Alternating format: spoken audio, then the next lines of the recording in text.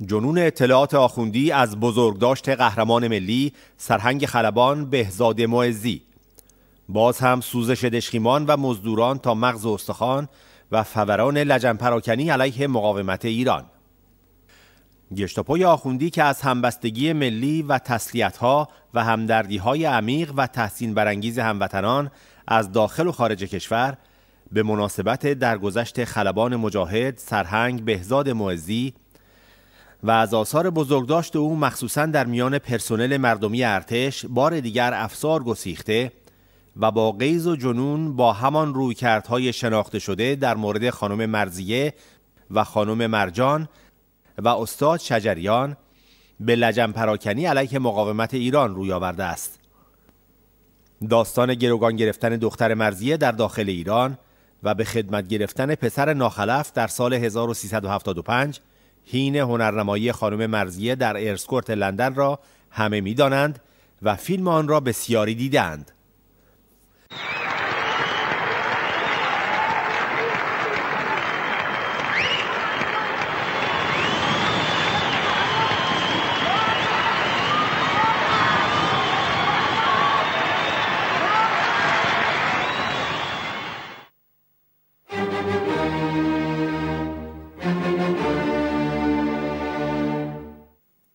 این هم پاسخ خانم مرزیه به ترفند اطلاعات آخوندها که گفت به قول حضرت مولانا که انگار درباره این ملاها گفته کی شود دریاز پوز سگ نجس کی شود خورشید از پف منتمس. ای برید آن لب و حلق و دهان که کند تف سوی مه یا آسمان. بنده باید بگویم که آخوندها و آن کسانی که دوست آخوندها هستند خیلی بدبختتر و مفلوکتر از این هستند که روی چنین کنسرتی یا سخنرانی خانم مریم رجوی که اصل و اساس مسئله بود و در سراسر اروپا و خاور میانه قابل شنیدن و دیدن بود سایه‌ای بیندازند. باز هم به قول حضرت مولانا محفشاند نور و سگ او او کند. بنده الان هفتاد و دو سال دارم و این موها را هم که در آسیاب سفید نکردم. حالا که گذشته ها را مرور می کنم می بینم خیلی وقتها سعی کردند کنسرت ما را به هم بزنند. یک بار هم در جنوب کشور سی چهل سال قبل به محلی که من ایستاده بودم و میخواندم حزب های آن دوران سنگ پرتاب کردند و من از همانجا خواندم که با محتسب شهر بگویید که زنهار در مجلس ما سنگ مینداز که جام است. حالا هم دوباره محتسب شهر آمده که یک طور دیگر سنگ بیندازد. و من باز هم باید بگویم که آخوندها این آرزو را به گور می‌برند که من به مردمم پشت بکنم و خاموش بشوم.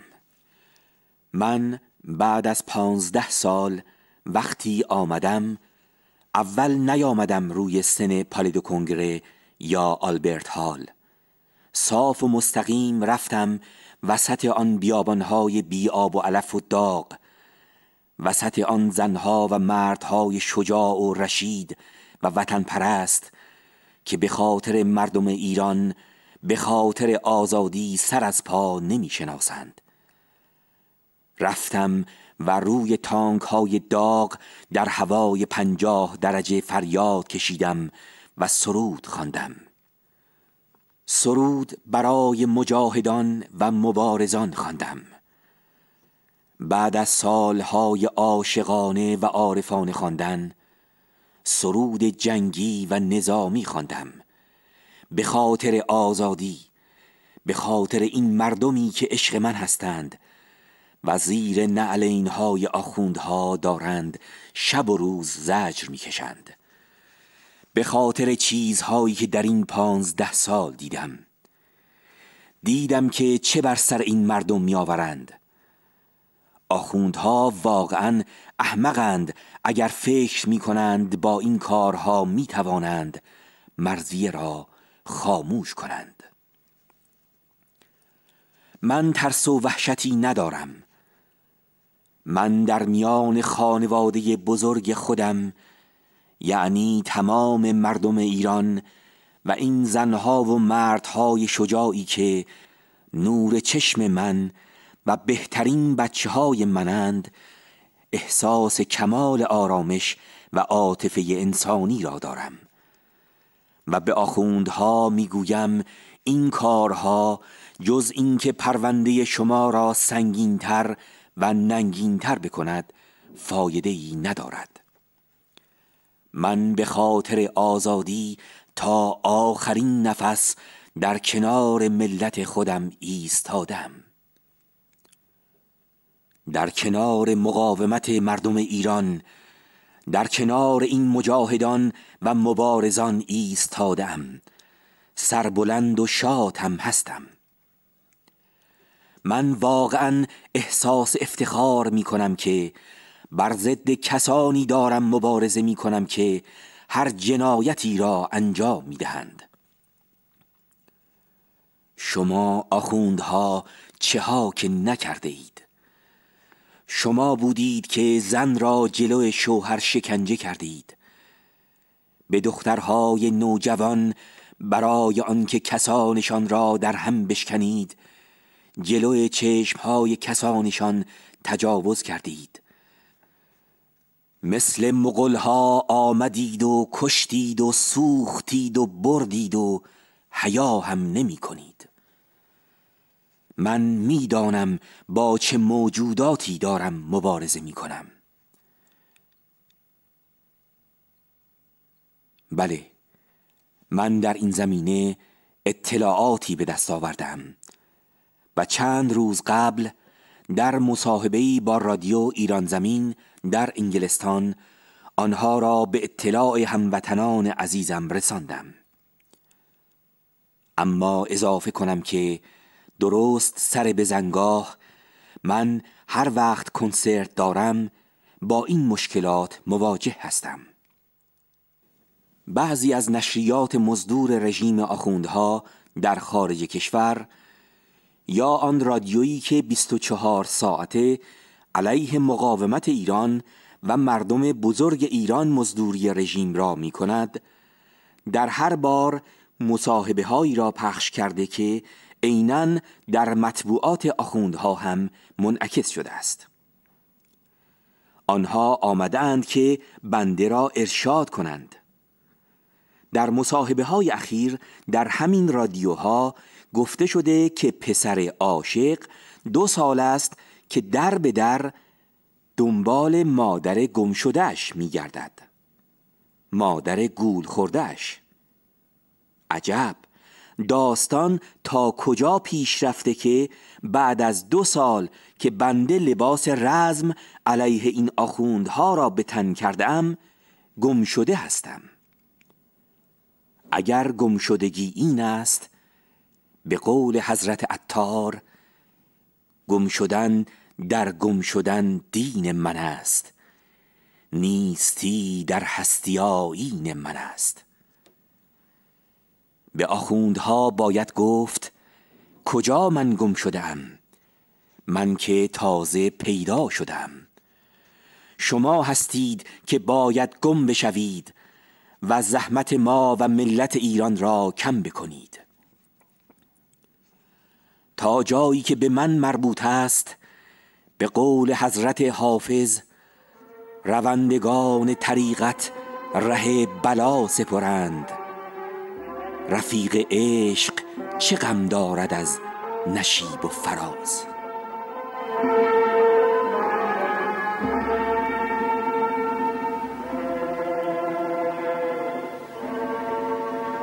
من اعلام می کنم صد بار اعلام می کنم که آزادی چیزی نیست که انسان بتواند از آن بگذرد. من صد بار قاطع تر از پیش علیه آخوندها و نوکران آخوندها مبارزه خواهم کرد و خواهم جنگید. زیرا اگر آزادی نباشد زندگی به درد نمی خورد شایسته انسان نیست. و من در کمال سرفرازی و با ایمان و اعتقاد کامل می‌گویم آزادی در ایران فقط و فقط به وسیله همین مقاومت مردمی و فرزندان دلاورش رئیس جمهور ارزنده و بینظیرش خانم مریم رجوی فرمانده کل ارتش آزادی بخش مسعود سردار بزرگ و همه دوستان و همکارانم در شورا و به یاری ملت بزرگ ایران محقق خواهد شد و بس. این تمام حرف بنده است و این تمام حرف این مقاومتی است که دو سال است افتخار دارم که جزئی از آن باشم.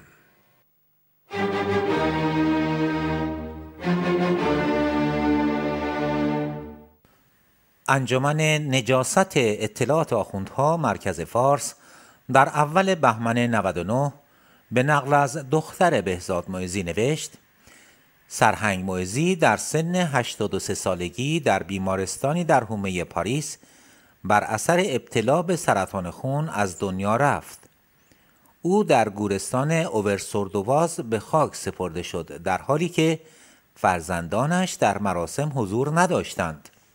انجمن نجاست برای توجیه حساب تویتری تازه تأسیس شده به نام دختر بهزاد معزی می افزاید مریم معزی که به نظر می رسد تنها برای انتشار اعتراض خود و خواهر و برادرش نسبت به اقدامات مریم رجوی و تشکیلات مجاهدین خلق در ژانویه سال جاری اکانت توییتری خود را افتتاح کرده است در دو رشته توییت به دو زبان فارسی و انگلیسی اذعان می کند که پیکر پدرش مورد سوء استفاده فرقه مجاهدین خلق قرار گرفته است. در ادامه لجن پراکنی ها انجمن نجاست به نقل از همان دختر ارشد بهزاد معزی ادعا می کند ما حتی این فرصت را پیدا نکردیم که مراسم تدفین پدرمان رو خودمان اجرا کنیم. فرقه مجاهدین حتی روز تدفین و اجرای مراسم را از ما پنهان کردند. پدرم بسیار شفاف و به طور مستقیم به ما سپرده بود که نمی‌خواهد بعد از رفتنش پیکرش به مجاهدین خلق سپرده شود. همزمان با انجمن نجاست اطلاعات آخوندها و در همان روز اول بهمن 99 مزدور ایرج مستاقی در تلویزیون وزارتی موسوم به میهن به رله کردن همان عراجیف می‌پردازد و علاوه بر این ادعا می کند سرهنگ معزی سه هفته در بیمارستان بوده و نمی‌خواسته با مجاهدین ارتباط بگیرد. نمی‌خواست سر قبرش بیایند. نمی‌خواست در تدفینش شرکت بکنند. سرهنگ مطلقا جواب اینها را نمی‌داد. تلفن‌هایش را قطع کرده بود. سرهنگ موزی چهار خط یه چهار خط نه چهار تا گزاره کوچیک اونم در تایید خودش برداشته بود نوشته بود. الان یهو کردنش. چرا؟ بعد از اینکه دخترای سرهنگ موزی علیهشون موزه گیری کردن. گفتن پدرمون مطلقا در حالی که بیمارستان بود دو سه هفته بیمارستان بود نمی‌خواست با اینا ارتباط بگیره نمی‌خواست سر قبرش بیان نمی‌خواست در تدوینش تدفینش شرکت بکنن. و شما می‌دونید شواهدم دال بر همینه برای اینکه سرهنگ مطلقا جواب اینا رو نمی‌داد. تلفناشو قطع کرده بود و فرقه رجوی هیچ چیزی از سه هفته آخر سرهنگ موزی نداره.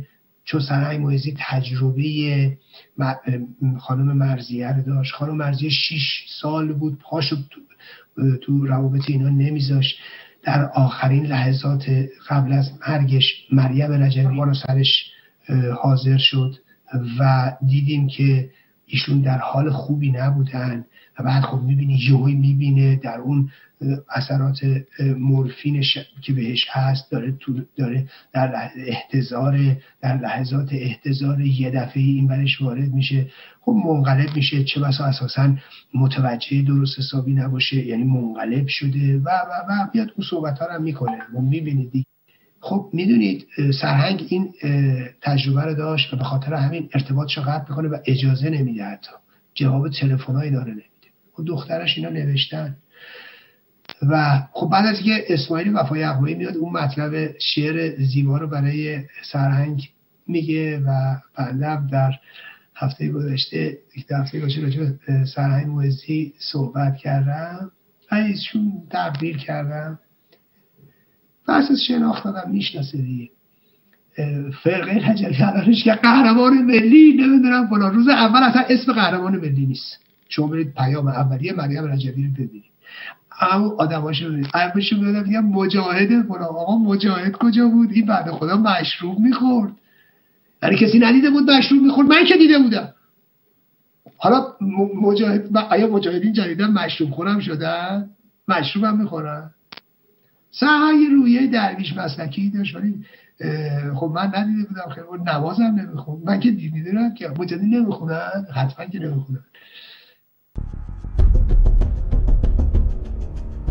همزمان اینترلینک شعبه دیگر وزارت اطلاعات به رله کردن همین عراجیف پرداخت.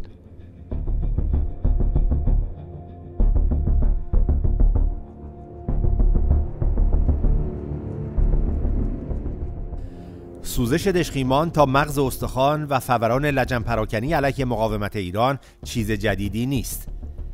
پیله کردن مزدوران به هر درگذشته در مجاهدین و خانواده مقاومت ایران نیز تنها انجام معموریت های محوله از سوی گشتاپای دینی را ثابت می کند و الا هیچ دلیلی نداشت که چماقداران خارج کشوری رژیم هر جان باخته ای را هماهنگ و همزمان با انجمنهای نجاست بر سر مجاهدین چماق کنند و پیرامون آن به گندگاو چال دهانی مبادرت کنند.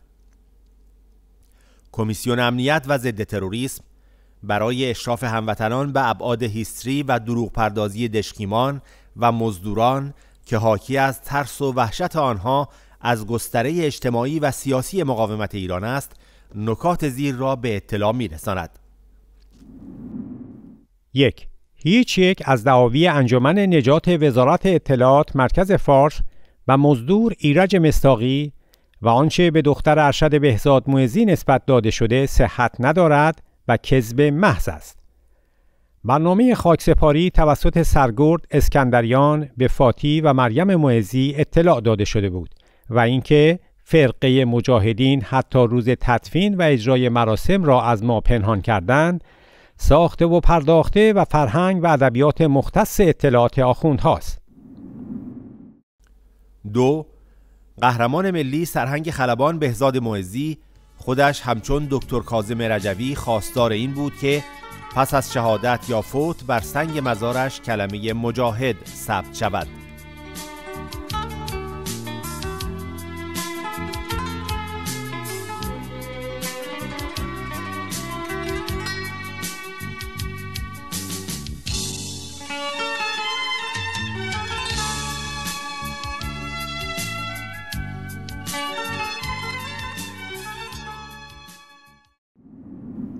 سه سرهنگ موزی برخلاف توییت دختر ارشد نه در 21 دسامبر بلکه در روز چهارشنبه سوم دی ماه 23 دسامبر در بیمارستان در حومه پاریس بستری شد و در ظهر 21 دی به جانب یاران شهید و صدیقش به دیار رفیق اعلا پر کشید.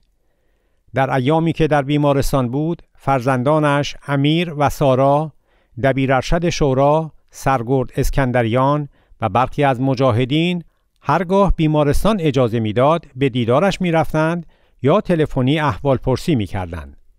در موارد متعدد از جمله در زمان عمل دیالیز که بیمارستان اجازه دیدار نمی‌داد فرزندانش و مجاهدین ساعتها پشت در بیمارستان در انتظار بودند. به دلایل پزشکی به خصوص کرونا دیدارهای حضوری با سرهنگ فقط تک نفره مجاز بود یاران شورایی که در پاریس حضور داشتند پیوسته از بیماری و وضعیت پزشکی سرهنگ مطلع می شدند و مشتاق ملاقات و دیدار او بودند اما بیمارستان مجاز نمی‌دانست. عکس های دیدارهای ایادت کنندگان با سرهنگ موزی در بیمارستان موجود و قابل انتشار است.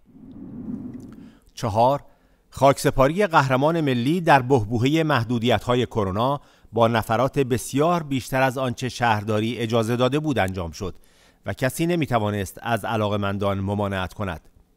در مراسم خاکسپاری همچنان که در فیلم های پخش شده از سیمای آزادی مشاهده شد علاوه بر فرزندان سرهنگ امیر و سارا همسر امیر و پدر و مادر وی حضور داشتند عکس ها زمیمه است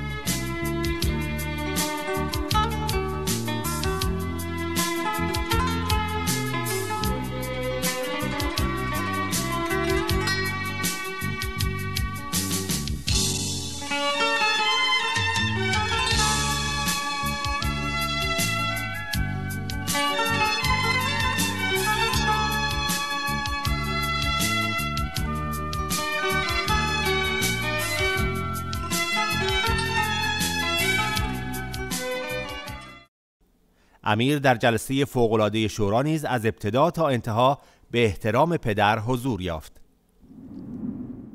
5. حساب توییتری به اسم مریم معزی در ماه ژانویه 2021 و به احتمال زیاد بعد از درگذشت سرهنگ و به فرموده برای درج همین عراجیف ایجاد شده است و فالوورهای او تماما معلوم الحال هستند از قبیل انجمن نجات، مزاحمین ضد خلق فدایی رهبرم خامنه ای اسرائیل 25 سال آینده را نخواهد دید و جهادگر و سرباز جانبرکف سید علی حساب فاطی معزی در داخل ایران نیز در اواخر اوت 2020 ایجاد شده و افراد مشابهی follower آن هستند و مطالب جنایتکارانی از قبیل تاجزاده را ریتوییت می کند. شورای ملی مقاومت ایران، کمیسیون امنیت و ضد تروریسم سوم بهمن 1399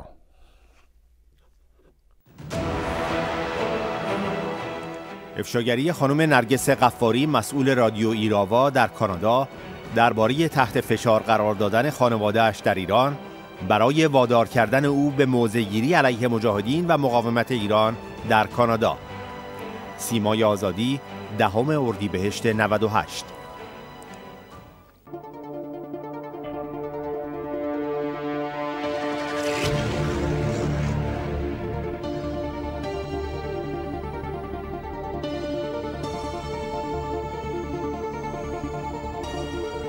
سیصد گل سرخ یک گل نصرانی؟ ما را ز سر بریده می ترسانی ما گر ز سر بریده می ترسیدیم در محفل عاشقان نمی رخصیدیم صبح دوشنبه دو اردیبهشت 98 حوالی ساعت نه به وقت اتاوا یکی از اعضای خانواده ام که چند روز پیش از آن در پیامی خبر داده بود که موضوع خیلی مهمی را باید با من در میان بگذارد با من تماس گرفت. معموران اطلاعات سپاه تروریستی پاسداران این عضو خانواده ام در ایران را تحت فشار گذاشتند تا من که در کانادا زندگی می کنم از فعالیت های آزادی خواهانه ام علیه رژیم ضد ایرانی و ضد زن آخوندها دست بردارم. آنها از طریق وی به من دستور داده و مرا تهدید کردند که یا دست از تبلیغ علیه رژیم بردارم در این صورت با من کاری نخواهند داشت. به ایران بازگردم به ایران بر نگردم و به کارم ادامه بدهم یا در کانادا بمانم ولی با اطلاعات سپاه همکاری کنم. می‌بینید چه گزینه های این قاتلین مردم ایران و سوریه برای من که 9981 کیلومتر از ایران دورم جلوی پایم گذاشتند. تعجب این است که چگونه این قاتلین که اینک در لیست تروریستی هستند به خود جرأت می دهند از آن طرف دنیا برای من گزینه تعیین کنند. ناگفته نماند که عامل مهم و اصلی این نوع تهدیدات البته حمایت های من از سازمان مجاهدین خلق و شورای ملی مقاومت ایران در این سالیان بوده و هست. در فایل صوتی که در همین پست میشنوید عضو خانواده ام را تحت فشار گذاشتند تا من از این چهار گزینه یکی را انتخاب کنم. به من وقت دادند تا یکی دو هفته فکر کنم و تصمیمی بگیرم که برای کسی مشکلی به وجود نیاید. من به یکی دو هفته وقت نیازی ندارم و همین الان جواب را حاضر دارم. و اما جواب من از آنجایی که مواضع من همیشه روشن و شفاف بوده و هستند انتخابم را بدین وسیله به آگاهی عموم میرسانم. انتخاب من نرگس قفاری فعال سیاسی و حقوق زنان مجری و تهیه کننده رادیو ایراوا سرنگونی تمامیت رژیم آخوندها و برقراری دموکراسی و آزادی در ایران اسیر است. و در این راه همراه با مقاومت ایران از هر امکانی که در دست داشته باشم برای عملی شدن این اهداف استفاده خواهم کرد و تا آنجا که در توان داشته باشم در این راه قدم برخواهم داشت. در همین جا باید بگویم که هر گونه اتفاقی برای خانوادهام در ایران بیفتد تمامیت نظام آخوندها را مسئول آن می‌دانم. به اطلاعات سپاه تروریستی پاسداران هم باید بگویم که این تهدیدها دیگر اثری ندارند و تنها باعث تشدید فعالیت‌های من علیه تمامیت حکومت آخوندها خواهند شد. عمر حکومت شما رو به پایان است و به زودی در دست عدالت قرار خواهید گرفت. زنده باد آزادی مرگ بر اصل ولایت فقیه نرگس غفاری چهار اردی به هشت 98 24 آوریل 2019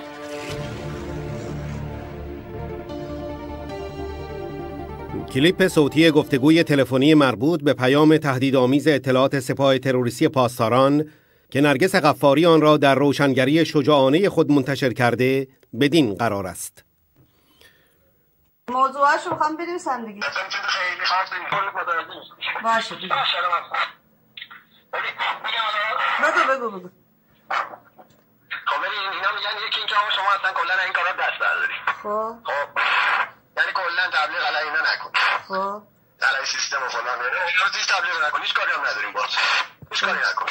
خب چون میگه شما سابقه آنچنانی نداری و قول معروف. اوکی. خب. کاری نکنی و قول معروف اونم کاری نداره. دومی اینه که شما اصلا اگه دلت می‌خواد برگردی.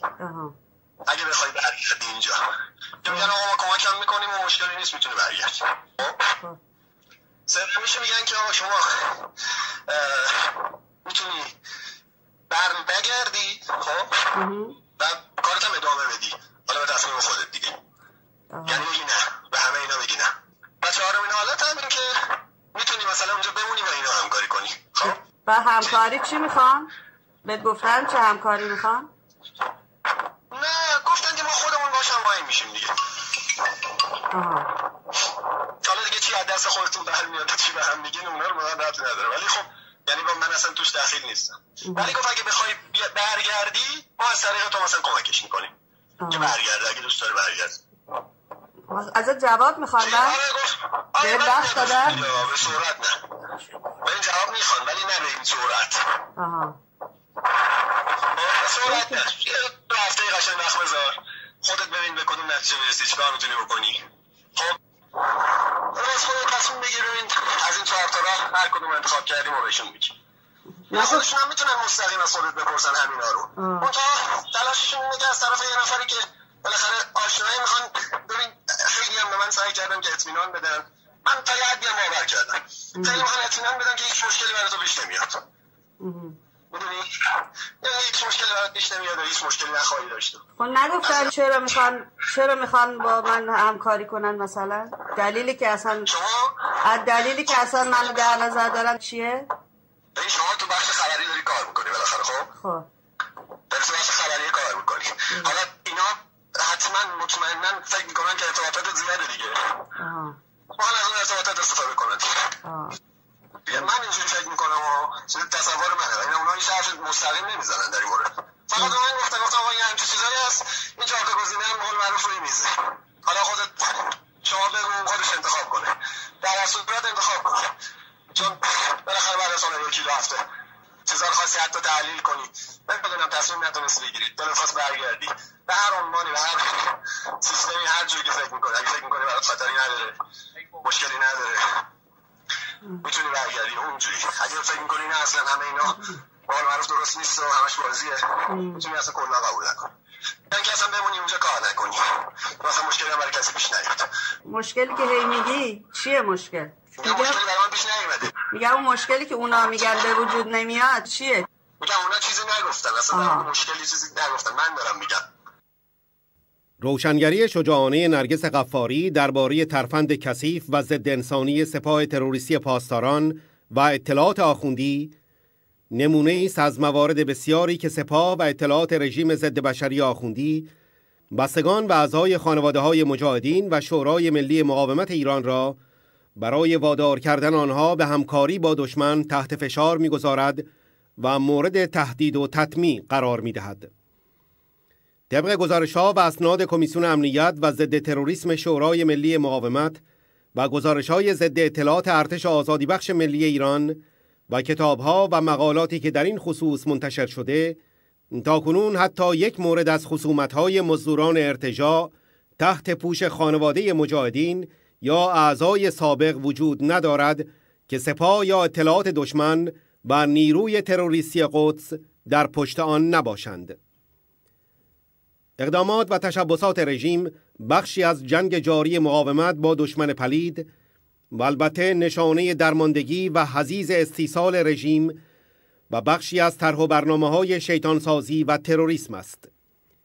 بهترین راه مقابله با آن نیز افشای بلادرنگ این ترفندها برای هموطنان و یاران و حامیان مقاومت و همچنین مطلع ساختن گزارشگران و ارگانهای حقوق بشری در سازمان ملل متحد است.